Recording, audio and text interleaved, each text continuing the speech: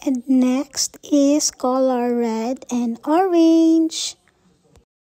It's so pretty. And look at that ladybug.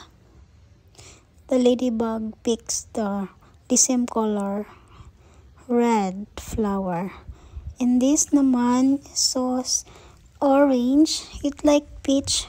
It's so pretty in the in the in real guys and sobrang laki niya. There's also color yellow also very pretty. And red.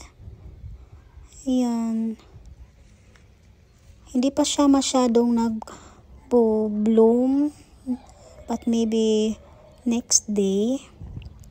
But yung iba sobrang bloom na ito. Sobrang ganda niya na kulay guys orange peach.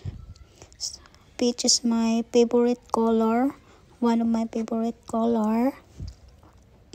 Ito hindi pa siya nag bloom kunti pa.